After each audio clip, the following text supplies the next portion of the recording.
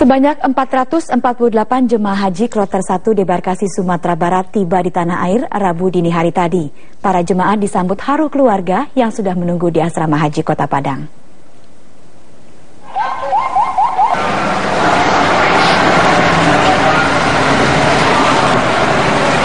Para jemaah ini tiba melalui Bandar Udara Minangkabau, kemudian langsung dibawa ke asrama haji untuk pemeriksaan kesehatan. Kantor Kesehatan Pelabuhan memeriksa kesehatan seluruh jemaah.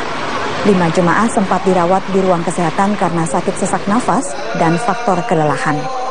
Kepala Wilayah Kementerian Agama Provinsi Sumatera Barat Salman mengatakan, untuk kepulangan jemaah ini berjalan dengan lancar, meskipun pesawat sempat tertunda selama dua jam.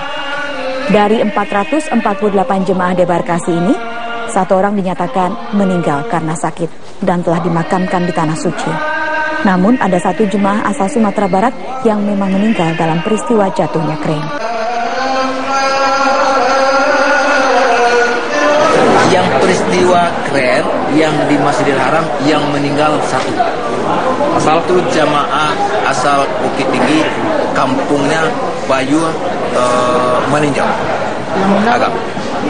Yang yang peristiwa Mina alhamdulillah uh, khusus kita jamaah haji kloter Sumatera Barat alhamdulillah tidak ada masalah. Jemaah haji Indonesia sudah mulai kembali ke tanah air termasuk dari debarkasi Surabaya yang telah tiba di asrama haji Sukolilo Surabaya. Untuk mengetahui situasi langsung kita bergabung dengan reporter Eva Wondo di Surabaya.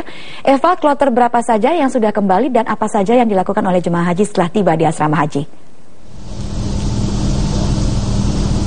Ya Rike, ada dua kloter debarkasi Surabaya yang sudah kembali ke tanah air, yaitu kloter 1 dan kloter 2 debarkasi Surabaya. Kloter 1 ini terdiri dari 448 jemaah haji yang berasal dari Magetan dan Surabaya.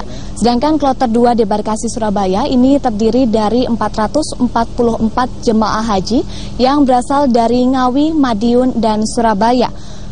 Meski ini sempat terjadi keterlambatan kepulangan ke Bandara Juanda, Surabaya, namun hingga 4 jam, namun ini jemaah haji yang tiba ke tanah air tetap merasa bersyukur karena kembali tiba di tanah air dan mereka mengungkapkan wujud syukurnya dengan melakukan sujud syukur di Bandara Internasional Juanda. Selain mengucapkan wujud syukur, ini juga jemaah haji uh, mengaku meski ada beberapa insiden atau tragedi mereka mengaku telah melaksanakan ibadah haji dengan lancar. Dan berikut kutipan wawancara kami dengan Muhammad Ikhwan, salah satu jemaah haji di Barkasi, Surabaya. Alhamdulillah dengan kejadian kemarin, khususnya jamaah Indonesia yang ada di Mekah Al Mukarramah sangat bersyukur dan sangat bersyukur dengan postia-postia kemarin. Oleh karena itu, saya aku dijemput kepada pemerintah khususnya pemerintah uh, Indonesia. Di Bandara Internasional Juanda, jemaah haji ini akhirnya menuju ke asrama haji Sukolilo Surabaya. Dan di asrama haji Sukolilo Surabaya, ini jemaah haji melakukan serangkaian kegiatan seperti pemeriksaan kesehatan.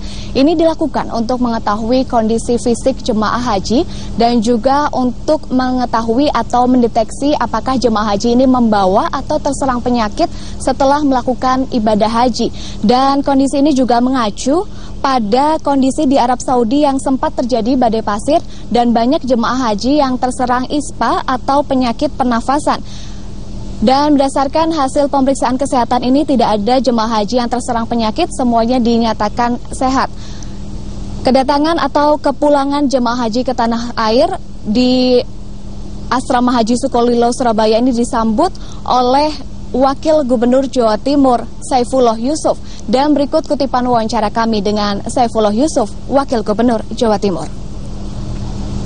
Semuanya insya Allah ini kan uh, akan berdatangan sesuai dengan jadwal.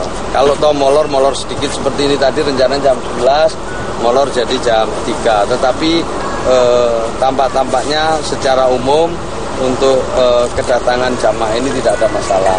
Ya. Yang kedua.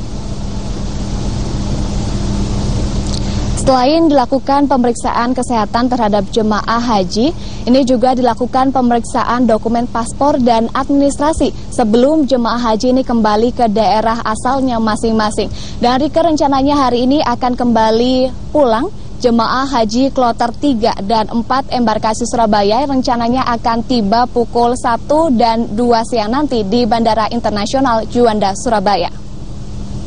Rika kembali ke Anda di studio. Terima kasih Eva Wondo bergabung langsung dari Surabaya, Jawa Timur.